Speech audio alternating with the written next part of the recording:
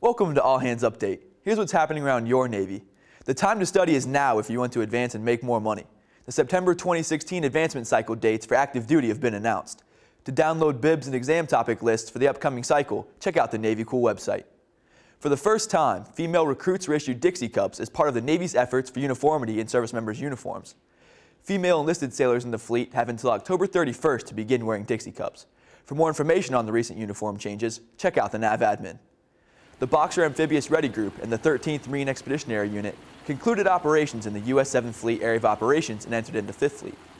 While in 5th Fleet, they will provide a forward naval presence in support of Operation Inherent Resolve and theater security operations. You can read more about what's happening around your Navy at Navy.mil.